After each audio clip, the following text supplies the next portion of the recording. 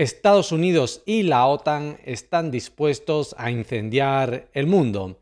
En su pugna de poder contra la Federación de Rusia, estos señores van a llevarnos a todos a la catástrofe, ¿no? Y es que esta mañana en la Federación ha comenzado la segunda etapa de los ejercicios de fuerzas nucleares tácticas. El Ministerio de la propia Federación ha anunciado que en esta segunda etapa se resolverán las cuestiones relativas a la preparación de la Fuerza Armada de la Federación de Rusia y de Bielorrusia para el uso combativo de armas nucleares no estratégicas. Este ejercicio tiene por objeto mantener la preparación del personal y el equipo de las unidades para el uso de combate de armas nucleares no estratégicas. Los ejercicios también se llevan a cabo para garantizar la soberanía y la integridad territorial del Estado de la Unión, el conjunto que forma tanto Rusia como Bielorrusia. En ese comunicado, el Ministerio de Defensa ruso nos daba unas imágenes eh, de cómo se habrían llevado a cabo esos ejercicios. Ahí tenéis lanzadores de los icónicos Ya Iskander, cómo estaban siendo portados esos misiles balísticos por los lanzadores, también los misiles de crucero eh, de los Iskander, ahí lo tenéis, las imágenes facilitadas por el Ministerio de Defensa ruso.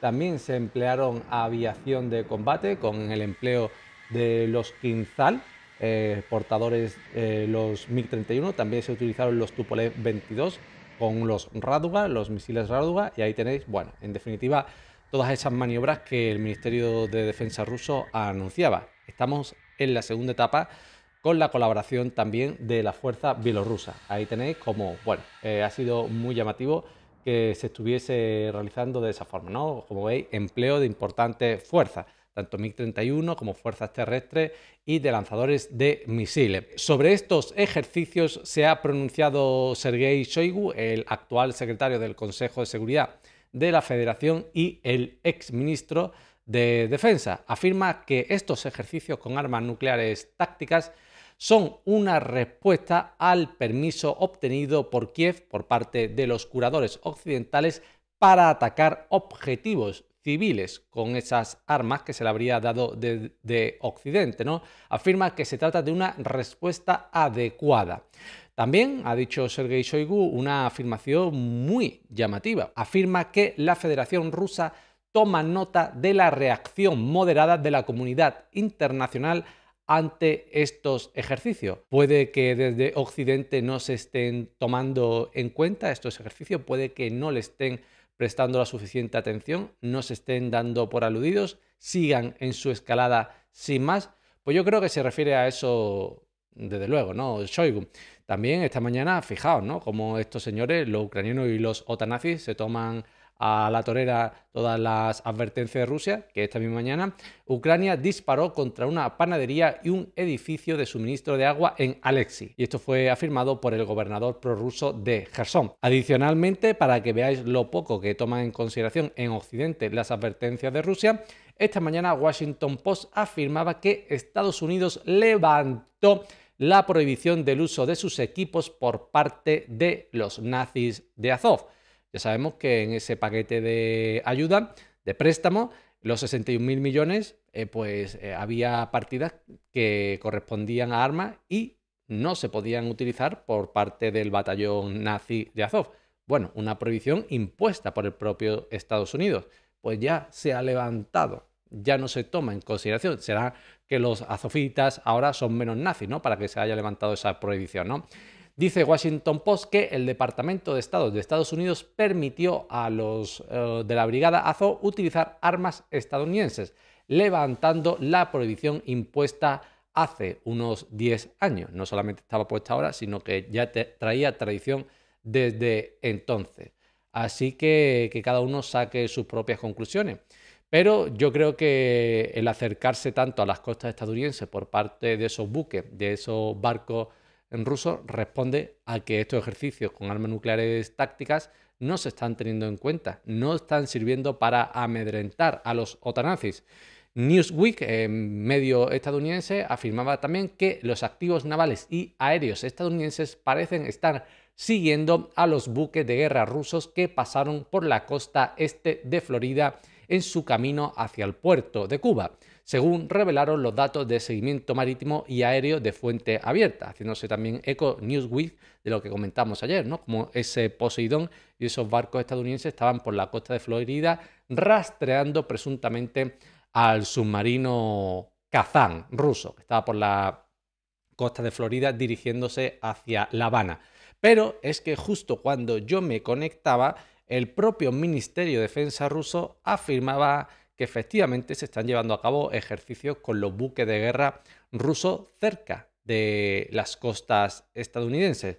Concretamente, el Ministerio de Defensa ruso nos daba estas imágenes sobre esas maniobras que se están llevando a cabo. No lo ocultan, lo dicen claramente, están en aguas internacionales y por lo tanto son ejercicios legítimos. Ahí tenéis esos ejercicio realizado según el propio Ministerio de Defensa ruso. ¿no? Vamos directamente con lo que afirmaba, porque tampoco tiene mayor enjundia las grabaciones que nos daba el Ministerio de Defensa ruso. Afirmaba el Ministerio de Defensa que los barcos de la flota del norte realizan ejercicios sobre el empleo de misiles de alta precisión en el Océano Atlántico, lógicamente refiriéndose a los que están en las costas de Estados Unidos un heterogéneo grupo táctico de ataque naval de la flota del Mar del Norte formado por el submarino nuclear multipropósito Kazan y la fragata Gorskov, que realizan misiones de largo alcance, comenzó a realizar ejercicios sobre el uso de armas de misiles de alta precisión en el Océano Atlántico.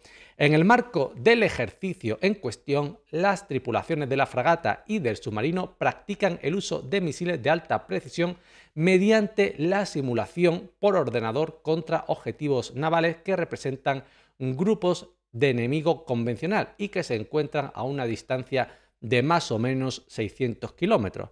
Bueno, si os acordáis donde señalábamos ayer que estarían esos barcos, ese submarino Kazán, pues eh, con 600 kilómetros le da para llegar a suelo estadounidense, ¿no? Sin haber entrado todavía en el escenario cubano, ¿no? En las aguas eh, territoriales cubanas. Esto es en la costa de Florida. A los rusos no les hace falta meter a ningún tercer país por medio, ¿no? Para eh, enseñarle las garras a Estados Unidos. Veremos si se achantan o no, o siguen con su escalada. Pero reitero, los rusos poniendo su propio pecho. Ellos van allí a enseñarle cómo han de hacerse las cosas a los yanquis, ¿no?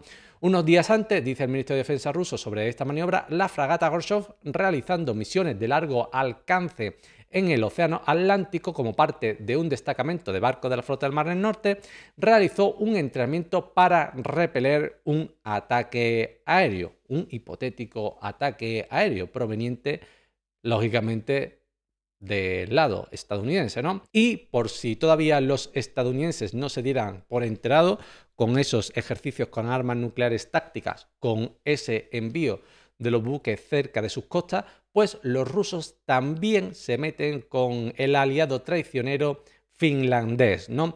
Un avión militar ruso invadió el espacio aéreo finlandés por primera vez desde que el país se unió a la OTAN. Es una información publicada por Bloomberg citando al Ministerio de Defensa finlandés. Escribe Bloomberg, medio estadounidense, que el avión estuvo ruso, estuvo en el espacio aéreo de Finlandia durante unos dos minutos, ayer por la mañana lunes.